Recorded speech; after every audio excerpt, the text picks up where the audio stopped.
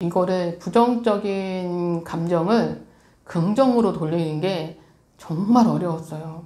이게 정말 머리로는 어 그런 감정이 올라와도 그냥 긍정으로 생각해. 긍정적으로 생각하면 되지. 뭐 이렇게 어려워. 이렇게 말은 하지만 이게 쉬운 게 아니더라고요. 정말 이게 진짜 쉬운 게 아니에요. 이게 머리로는 그냥 그럴 것 같고 그리고 또 무슨 어떤 상황이나 조건이 딱 올라왔을 때 그게 분명히 화가 나는 상황인데 이거를 아, 어, 이게 부정적인 감정이니까 이 상황을 내가 그렇게 부정적으로 내가 나가면 안 돼. 이건 좀 긍정으로 돌려야 돼. 머리로는 그게 가능해요. 하지만 이게 진짜 이 가슴에서는 그게 잘 안 되더라고요. 이게 너무 힘들었어요. 부정적인 내면에 있는 감정동을 긍정으로 돌려야 된다. 어, 이게 저는 가장 힘들었던 것 같아요. 아, 그거는 제가 알아차림. 음, 이 알아차림이 돼야지만 이게 가능하더라고요. 어, 정말 그럴 때는 내 감정을 항상 제가 바라보려고 노력했어요. 내가 지금 상태 감정이 어떤 상태지? 이렇게 생각하다 보니까 알아차림이 돼야지만은 그게 가능하더라고요. 왜냐하면 알아차림이 안 되면 이 감정이라는 게 무의식이기 때문에 무의식에서 그냥 나와버려요. 어, 내가 뭐 생각하기도 전에 뭐 화가 나면 그냥 확 나오고 그러다 보니까 알아차림이 먼저다. 어, 그런 상태 그 부분인 것 같아요. 알아차림을 해야 되겠다. 이제 제가 실질적으로 그냥 그 있던 사례를 예를 들자면 제가 지금 청소를 하고 있잖아요. 청소를 하고 있는데 음, 한 직원이 와가지고 음, 이제 뭐 지적을 할 때가 있었어요. 와 보니까 음, 제대로 정리가 되지 않았었어. 어? 그러니까 이거 좀 잘했으면 좋겠어. 왜냐면 자기 구역이 아닌데 와가지고 그렇게 얘기를 하면 굉장히 기분 나쁘죠. 기분 나쁜데 내 기분 나쁜 감정이 올라와요. 그러면은 예, 알아차림을 하지 않은 상태에서는 어떻게 나오냐면 네가 나한테 지금 그런 말 할 자격이 있어? 네 구역이나 잘해. 네 구역이나 남 신경 쓰지 말고 아니면 그렇게 말도 못하면은 그냥 얼굴에 딱 굳어져 버릴 수도 있어요. 근데 일단 알아차림이 되면 내가 그냥 화가 올라왔는데 딱 알아차려요. 그리고 그 사람한테 딱 얘기할 때, 어, 그랬냐고. 잠깐만, 내가 그 부분은 신경을 못 쓴 것 같은데, 아, 알았어. 고마워. 얘기해줘서 고마워. 일단은 이게 딱 가능해져요. 왜냐면 내가 올라오는 감정이, 부정적인 감정이 딱 올라왔기 때문에. 그 사람한테도 기분 나쁘지 않게 딱 얘기합니다. 근데 나중에 이제 그 사람이 가고 나서 그래도 이 감정이 내려가진 않아요. 내려가진 않아요. 내려가지 않지만 그 사람 보는 앞에서는 어 그게 표시가 그렇게 딱 나지 않고 제 자리에 와서 그 올라온 부정적인 감정을 제가 알아주는 거예요. 어, 이게 알아차림이 정말 그렇게 되더라고요. 이게 근데 이 알아차림은 뭐 금방 되는 게 아니고 정말 꾸준히 꾸준히 꾸준히 나를 보면서 또 뭐 이렇게 깨지면서 계속 나한테 말을 걸어주면서 그래서 너 진짜 기분 나빴지? 제가 와, 제 자리에 와가지고 얘기를 했어요. 너 진짜 기분 나빴지? 아, 지가 뭔데? 지가 뭔데 와가지고 이래라 저래라 해. 어, 그건 아니지. 그래, 맞아. 아, 너 진짜 기분 나쁠만 하다. 이러면서 제 이 올라오는 감정을 일단 알아주는 거예요. 얘가 듣고 싶은 말을 내가 해줘야 되거든요. 그럼 나중에 좀 시원해요. 이 감정이 자기 감정을 알아주니까 시원해요. 그렇게 내 감정을 알아줘야 돼요.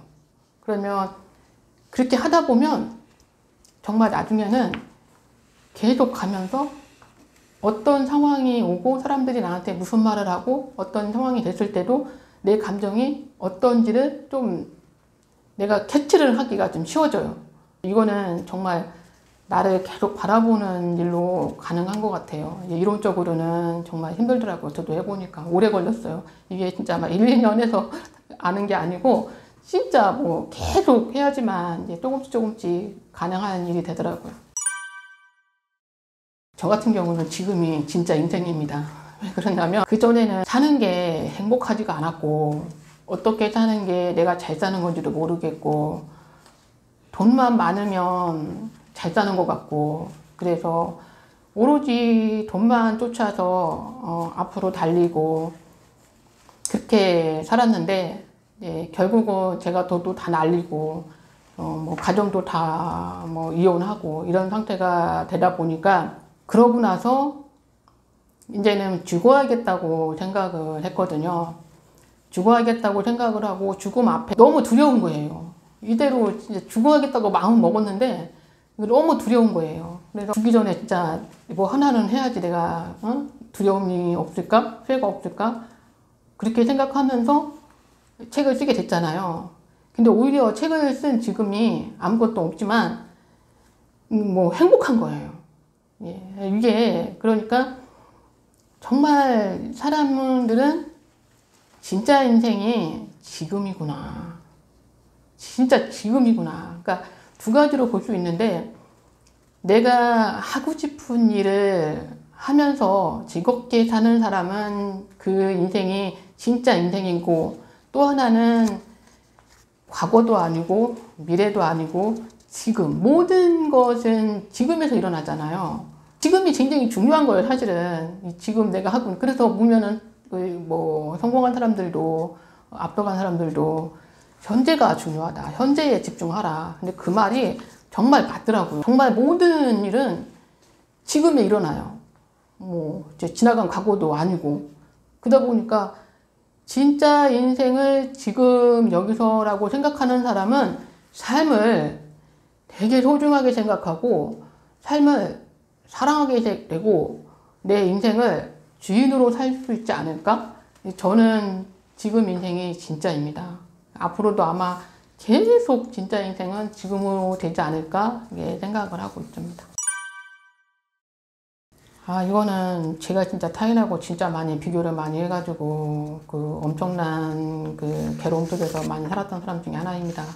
왜냐면 저는 이제 장애가 있다 보니까 엄청나게 비교를 많이 했어요. 그래서 장애가 있다는 사실조차도 음, 사람들이 아는 게 너무너무 수치스러웠어요. 어, 이거를 감출 수만 있으면. 예, 그래서 모든 거는 이 장애 때문에 내 인생이 다 망쳤다. 내가 아무것도 할 수 없다. 이런 틀에 갇혀 사가지고 비교를 안 할 수가 없습니다. 그러면 남들은 정상적이고 잘 들리고 나는 못 듣고 이런 상태에서 내가 못났기 때문에 자꾸 나, 다른 사람하고 비교를 하게 돼요. 그러면 내가 못났으니까 열등감이 생기게 되잖아요. 그러면 뭐 진짜 나는 그냥 그 바보예요. 열등감 속에서 살아가는 앞으로 나가지도 못하고 뭐 인생이 괴로워요. 얼마나 괴롭겠어요. 그리고 또 이제 그런 속에서도 내가 좀 다른 사람보다 좀 잘난 게 있으면 예를 들어서 옛날에는 뭐 남편이 돈도 많이 벌어다 주고 했으니까 돈 안 벌어 안 벌어다 주는 사람들에 비해서는 우월감이 생기고. 정말 이게요 못할 짓이에요. 남하고의 비교 타인과의 비교는 나를 망치는 지름길입니다. 그래서 여기서 벗어나는 방, 방법은 이것도 자기 사랑이에요. 시선을 다른 사람한테 두지 말고 나한테 두면 돼요 오로지 나한테 내 안에 있는 나, 내가 시선을 두고 오늘은 얘의 감정이 어떤지 오늘은 얘 감정이 어 좋구나 기분이 좋구나. 그러면 우리 오늘 또 어제보다 오늘을 행복하게 살아가자. 이런 나하고의 내가 소통을 하고 지내면 정말이지 자기 사랑해서 내가 나와 친해지잖아요. 그러면 그 사람들이 생활하는 그 생활도 존중을 해주게 되더라고요. 그러니까 사람들이 흔히 그러잖아요. 나를 사랑해야 다른 사람들도 날 사랑한다. 이 말은 정말 진리예요, 진리. 나만 모르는 것 뿐이지, 나만. 그러니까 저도 저를 사랑하게 되니까 다른 사람들의 삶도 소중하더라고요. 왜냐면 내가 나를 사랑하니까. 그러니 내 자신이 소중하게 생각하니까 다른 사람도 소중해 보여요. 옛날에는 저 사람의 어떤 상황을 보면 어, 뭐야, 저건 아니지. 이렇게 했던 것들이 아니더라고요. 소중해요. 그 사람 인생도 소중하고, 제 인생도 소중하고.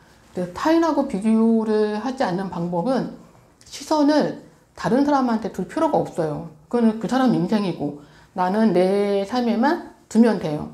그러면 간단해요. 이거는 진짜 정말 네, 다른 사람의 인생을 사니까 우리가 정말 힘들고 괴로운 거예요.